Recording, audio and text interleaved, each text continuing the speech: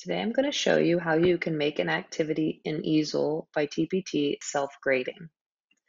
For those of you who may not be familiar with Easel, Easel is a digital tool that allows you to easily assign digital TPT resources to your students. Angela here from Custom Classroom, making test prep simple. A great way to save your nights and weekends from grading is to make an activity self-grading. In this video, I will show you how you can quickly add answers to an Easel activity. For this example, I will be using a free product found in my TPT store. The link can be found in the description. Some of the cool features that come along with the self-grading feature is that while working on the assignment, students can check their answers. This is a great way to give them immediate feedback so they can go back and correct their answer choices. Then, as a teacher, after your students digitally turn in their assignment, you can quickly and easily see how many attempts it took for each student to get to the correct answer. No long nights grading. Answers to a product so that it is self-grading in Easel by TPT, you're going to actually need your answer key. So when you click on the file, you're going to view your two files. You're going to first want to get the PDF. Most resources are going to have the answer key located within the PDF document. So I'm going to download this PDF. I'm going to open it. And then I'm actually going to drag it so that it is on its own page so I can easily refer to it off to the side. I'm going to find which page has the answer key. So here is my answer key. I see my answers. And I'm going to just shrink this down so I can easily see it off to the side. And I will be able to quickly add the answers into my self-grading feature. So I'm going to come back to easel here. And I'm going to move over so now I can see my answer key on one side of my page and I'll be able to access easel on the other side. So first I'm going to go to the second button here, preview and assign the easel activity I'm wanting to add answers to. I'm going to open it up and I'm going to shrink it down so I can see it all on one page.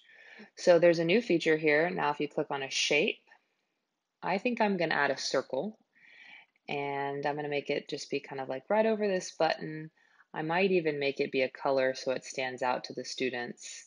Uh, maybe I make it blue, uh, but I don't want it to be completely filled in. So let's make it be um, a circle and we'll have no fill and it will be outlined, let's call it blue.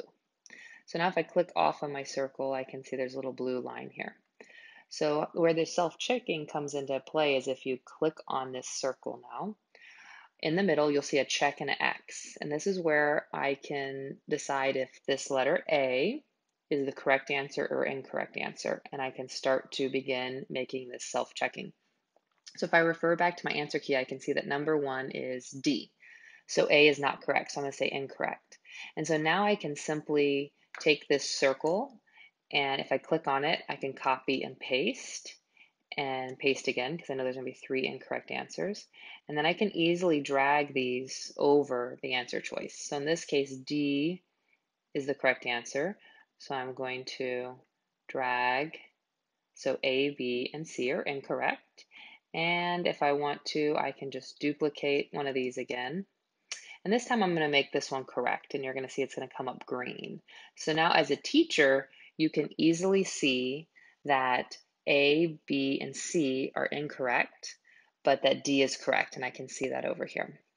And so now I'm going to quickly add the rest of these on, and then we'll see how it looks for students.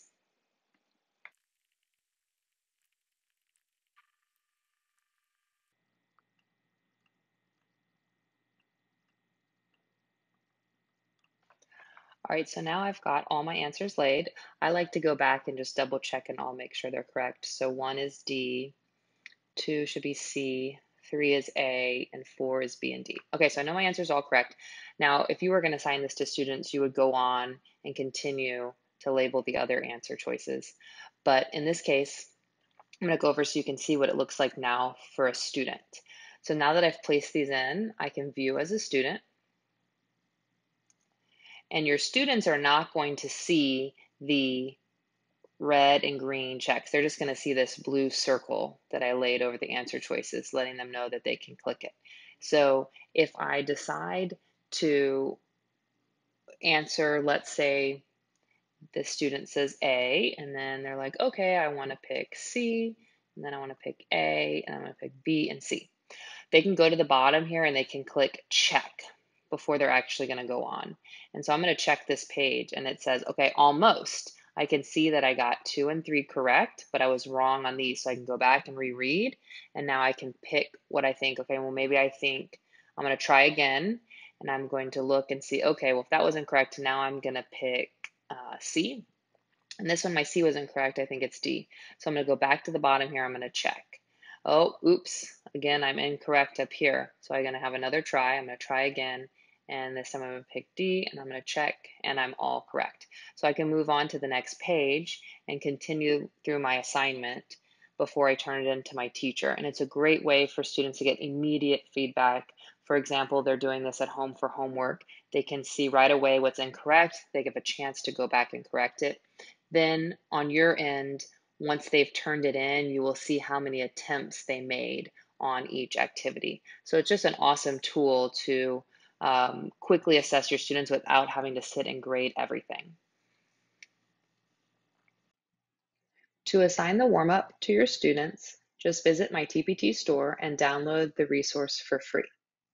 I hope you found this video helpful. Subscribe to my ch channel and check out my other videos to help you and your students prepare for state testing.